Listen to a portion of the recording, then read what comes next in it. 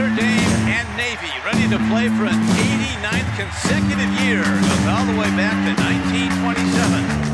How about them Irish? Bounce off the first tackler.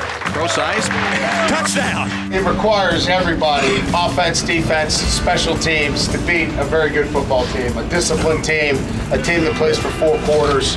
One, two, one, two, three, four.